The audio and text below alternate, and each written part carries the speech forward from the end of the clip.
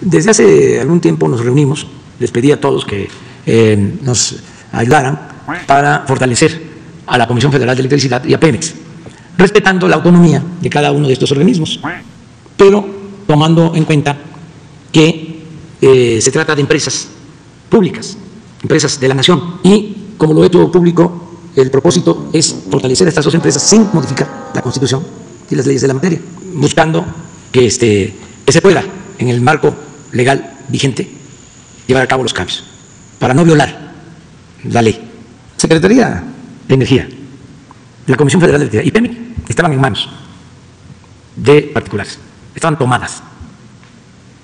Entonces lo que queremos es que sean empresas de la nación, del pueblo, en el espíritu de la política que llevó a cabo el general Cárdenas y el presidente Adolfo López Mateos. Entonces, nos enfrentamos pues, a toda resistencia, porque se hicieron acuerdos con las empresas particulares, sobre todo extranjeras, para comprarles la energía eléctrica con subsidio, o sea, con sobreprecio. Entonces, ¿qué les estoy diciendo a los integrantes de los organismos reguladores? Que nos ayuden para rescatar a Pemex y a la Comisión Federal de Electricidad. Y hay quienes voluntariamente, por convicción, lo hacen y hay otros que dicen, yo no estoy de acuerdo, porque pues tienen un pensamiento distinto. Y lo que estamos planteando este, es eh, que haya una distribución distinta. ¿Qué le digo a los particulares?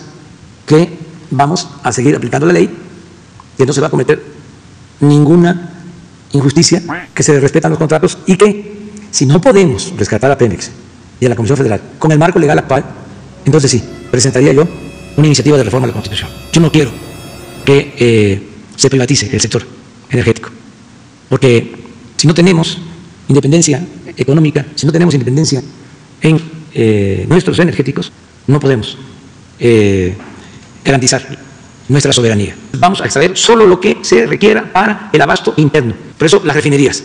El petróleo lo vamos a convertir en gasolinas, en diésel, para dejar de comprar la gasolina en el extranjero.